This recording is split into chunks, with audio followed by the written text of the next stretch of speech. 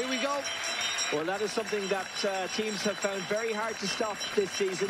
Breslin going forward, particularly in the second half of the season, particularly in the last couple of weeks. St. Pat's looking for seven wins in a row in the league, Johnny. This match... Mulraney, McLaughlin makes an overlap. Lennon's inside. Forrester. Breslin to his left. Forrester will go for it. Forrester Oh. tipped over the crossbar by Clarke. I think it just went over. No, no goal no, kick. no, goal He's kick, you're really right, well. Again, we spoke about Mulraney going onto the right-hand side. He's Right. come in onto his left foot. It's a good, decent ball in. Galway won't be happy with the players getting out to Forrester. He's taken two or three touches. That's a fine effort. I thought Clarke got his hand to it, but it's a goal kick. Good effort by Forrester. Four in the McLaughlin. Leavy. McLaughlin. Lennon. Forrester. Good ball. Here's Keena. Keena! What a 1-0 goal! What a goal! What a brilliant goal with Pats. Brilliant play by Chris Forrester. We only spoke about him a couple of minutes ago. The bell is ringing around Inchicore. Brilliant finish. Absolute brilliant finish. I've no doubt before he, the minute he touched the ball, and that service kept nice and low. Here we go, Lennon. Look at Forrester coming off the front, off the back players. Brilliant first time ball, perfect. Great strike, no chance for Clarke into the far corner. Disappointed Galway will be disappointed. The only time Jamie Lennon maybe has got time on the ball. Into the right man, Forrester. What a strike. Keena kept his, his composure.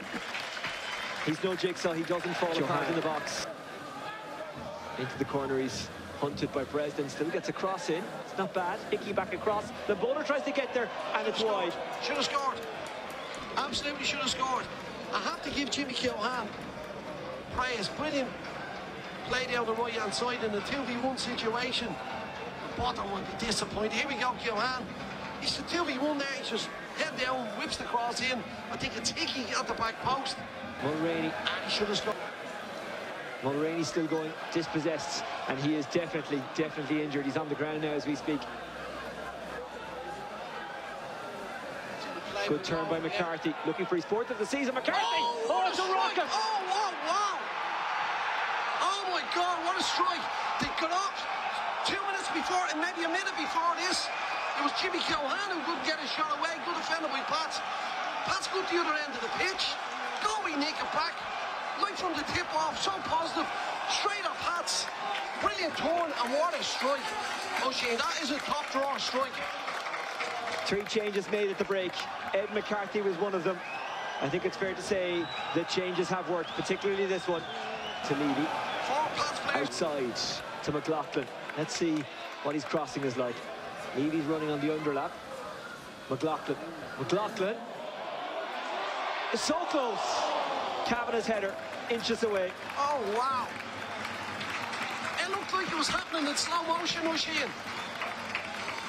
Again, good delivery into the box. Good delivery, 1v1. It just Does he? it gets Nope. comes off much. Forrester's there in the middle, goes outside to Leavy. Support coming from McLaughlin. Leavy, Leavy, Leavy! So close again, Clarke with the saver, was at the butt of the post? I think he's got his hand on it. Football slash women's football, to me football is football, but you know what I mean, the Republic of Ireland women's team in the Euro playoff should get through the first round. After that, who knows? Forrester tries to poke it through, finds Kavanagh. Kavanagh rolls it across for Keena, it's two! What a finish. A beautifully worked goal, a huge goal. It's St. Pat's 2, Galway United 1. It's Aidan Keena once again. Unbelievable. How simple, how simple the goal is, O'Shea. Pats fans go bananas over there. Absolutely go ballistic. Here we go. And again, it's just Forrester. Look at the space he finds. First touch takes him into the, into the direction. For... Brilliant cross. Keena just pulls off the defender's shoulder. Lots of space. Look at Chris. He's already looking forward. His first intention is to play it forward.